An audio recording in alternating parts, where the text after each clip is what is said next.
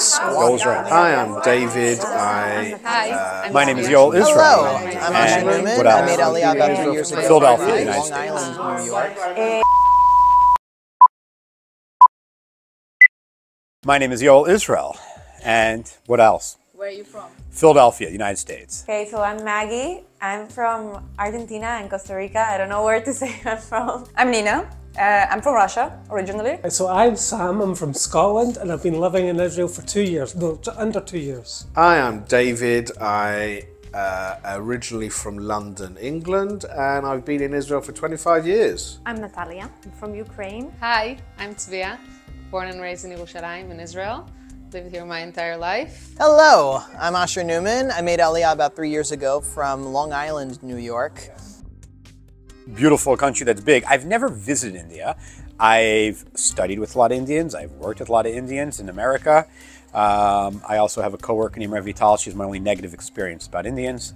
Um, but I think India is what I've learned through the culture and the people is one, the people are terrific, that they're extremely diverse, even though it doesn't seem that way, both in values and ideas and kind of and culturally. They have a very strong culture on their own that's independent, which I hope continues. And I think that they're terrific when it comes to the world, when it comes to, let's say, um, freedom and liberal values, but also has that right balance of spirituality and traditional values and those things that are really rooted, you know, in what's really important in life. I really, it's like a whole different culture for me. Like, I don't know that much. You're the first Indian person I know. Yeah, my parents uh, went to India once. My dad had a like a, a congress there, so he took my mom. And from what I heard from them, it's like there's a lot of contrasts, and that's why like my mom especially, it was hard for her like to go out from a very luxurious hotel and all the food and everything, and then to have like all the poverty and like kids asking for food and people showering in the streets like that's very shocking. And for my parents it was like they couldn't enjoy as much the trip because they were like oh my god like i'm seeing all this that's happening. And like eh, a lot of people in a very small town in a very small place kids asking for food for money. And then they go to like this big uh, event and it's like i don't know like it's hard. Well, I've never been to India. Uh, the reason I've never been to India because I kind of was afraid. Overcrowded place, not very clean that I always thought. So my first attempt to be near to India was in Sri Lanka, and I realized that I was the dirtiest person there because I was, you know, the tourist, never showing like, all day with my backpack and everything, and all the people were so nice, sweet, and clean. I like. Oh, maybe I was wrong about India. So next time I will do that, but I never did it. Uh, I think India is a fast developing country um, with lots of development going on, but um, also still problems with large amounts of poverty as well. Um, I hear it's cheap to visit. I hear there's great place, places to visit, and the people are very friendly, fun to be with, and welcoming. And I really don't know much else. I have some good friends from my high school, Jasdeep Singh, Amar Patel. Great people, we had a laugh. Um, but I always had a question if India is so great, why are you in London?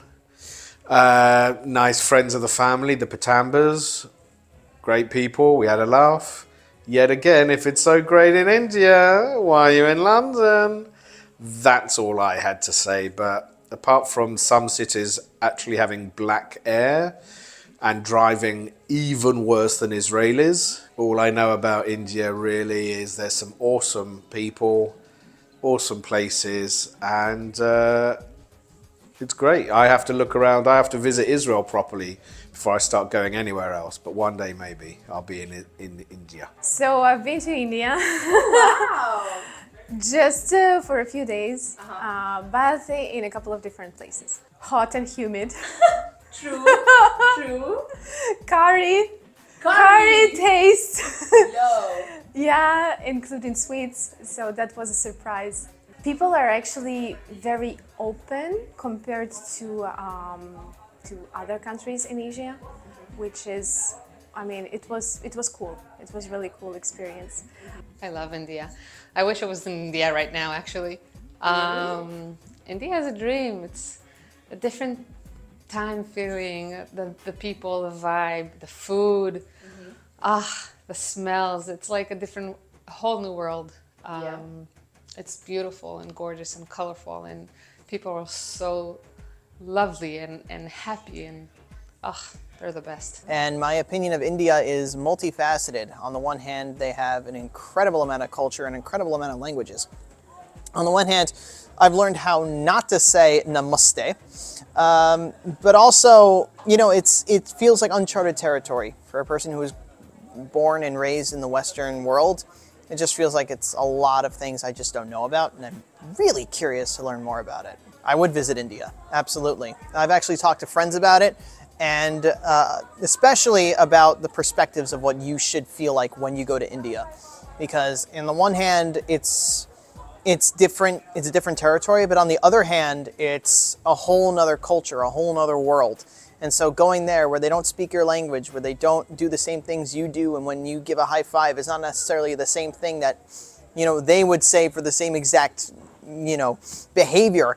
It's it's a whole perspective change it's a paradigm shift just traveling to a whole nother place like that i just would be very curious to see that paradigm shift and expand my mind a little bit I think India is going to be leading the world into the 21st century, especially the second half of the 21st century. They got a lot of things going right there that the rest of the world doesn't. I think a very strong culture, a very strong history. They have a terrific birth rate. I think these are all things that are very promising for the future of uh, the economy of India and the world. It's too far away. I wish they were closer. and there should be more Indian Jews. yes. I know people also go like on a, like spiritual trips there. I mean, I, I'm intrigued to visit. Uh, I don't know if it's like like my top priority to go, uh, but yeah, I like for these spiritual trips. What I always said, say from what my mom told me, it's like, how can you get spiritual when you're seeing the reality, like the hard reality people live in? So yeah, that's what I know and think of India. I like Indian food. I don't like in, the smell of Indian food. It's very dom- It's very strong. strong and it dominate. Like it's uh, you know, you can you, you can smell Indian restaurant uh, few streets ahead. I think they're very nice people. Like all, all Indian people that I met, uh, we talked to from support, I talked to a lot. They're very nice people, and I think it goes from nat- uh, from their culture because it's not because they trying to be nice. It's very natural, like, like really naturally nice. It's like coming from inside, from you know, it's cultural thing. So that's what I really like about Indian people. They they love people.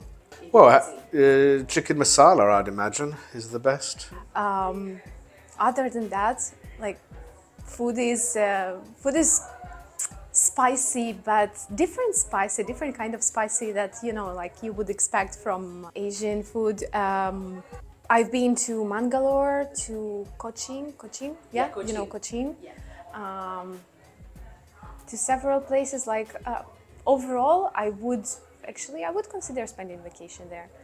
Uh, awesome. But like, I still haven't really figured out what would be the best place for uh, for me, for example, if I would go with my spouse. I will give you a list.